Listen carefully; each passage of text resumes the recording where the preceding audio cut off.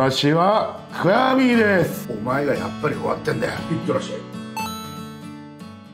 えー今日のですね、えーニュース解説はですね、埼玉市の公共の公園でですね、水着のグラビアの撮影会をやろうとしてた団体に対してですね、共産党のですね、議員たちがクレームを入れて中止に追い込んだというニュースについて解説いたしたいと思います。これ実際にですね、中止されたのはですね、フレッシュ撮影会というのとですね、近代麻雀水着撮影会みたいな、なんで近代麻雀が水着撮影会をやるのかよくわかんないんですけれども、まあそれは置いといて、このフレッシュ撮影会ってのは僕は実はですね、この YouTube チャンネルでも以前に流しておりますけれども、ここの PR 案件で、えー私、その撮影会にですね、潜入いたしまして、あのー埼玉かなんかの、遊園地かなんかの中のですね、プールだったと思うんですけれども、えーそちらの方で撮影会やりましたけど、こちらがなんか改装中なんですかね。今、あの、こういった水着グラビアのアイドルをたくさん集めて、えープールサイドで撮影会みたいなやれるところがあんまりないらしくて、このね、埼玉のプールがですね、ですね。非常によく使われてたらしいんですけれども、まあそちらの方で未成年が、えーグラビア撮影をしてたとかですね、なんか際どいポーズを撮ってたとかっていうのが、その都市公園法ですか公園法ですかの第一条のですね、目的に反するということでですね、共産党の議員たちがですね、クレームを入れまくってですね、えー中止に追い込んだということでですね、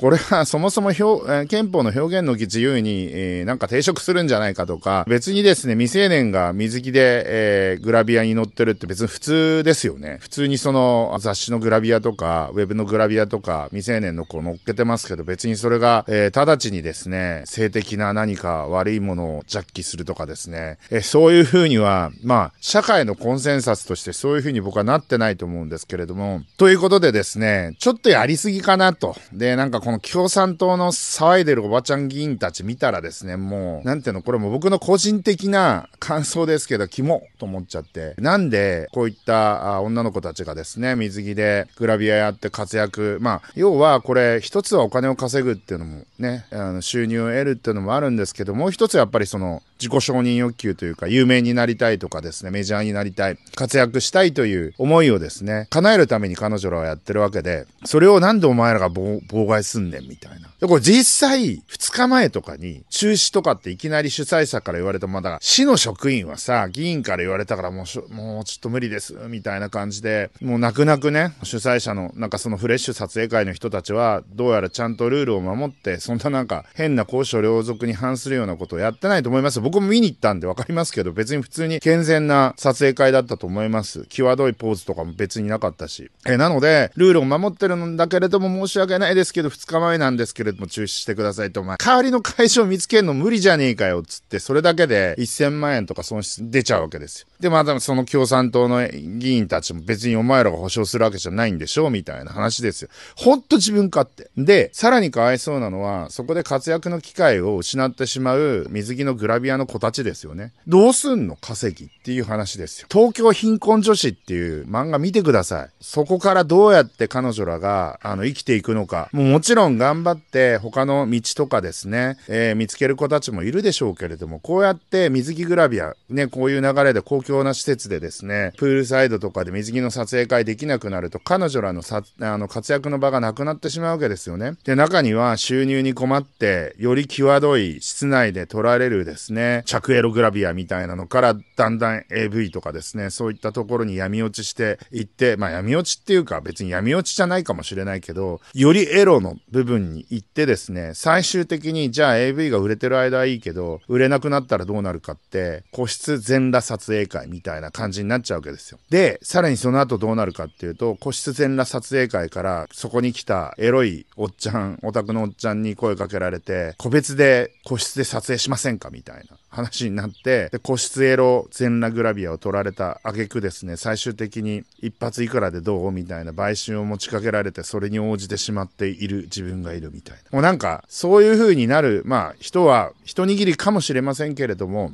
その共産党のおばちゃん議員たちの、あなたたちのなんか歪んだフェミニスト正義感みたいなわけわかんない奴らが、そうやって追い込んでいくわけです。パブリックな場所で、そうやってまともな業者さんがやってる水着グラビアラビア撮影会を排除することが、最終的にどうなるのか想像してみなさいよと。っていうふうに僕は言いたいわけですよ。だから、まともな業者さんがちゃんとやってるグラビア撮影会は健全な場所ですよ。で、こういうところを規制していく、その歪んだ正義感によって規制していくことによって、闇とか、そういう半グレとかヤクザとか、法を犯してもいいですよって思ってる人たちのところに行っちゃうかもしれない。何でもかんでも規制すればいいもんではないんですよということを僕は強く言いたいと思います。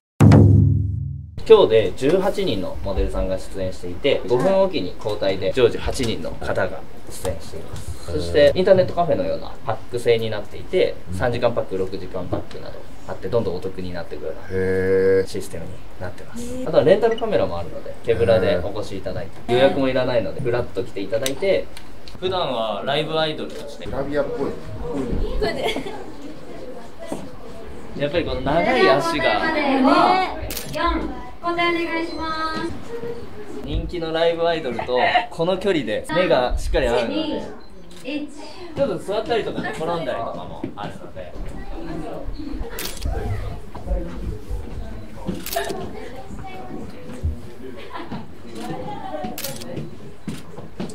次もう一人、ありがとうございました。ありがとうございます。もう一人よろしくお願いします。今度はあのミリいちかちゃんと言いまして、このうわ胸ー。うがわ H カップで まだ膨らんでるんですよー。まだ、まだ成長中。大事なありがとうございま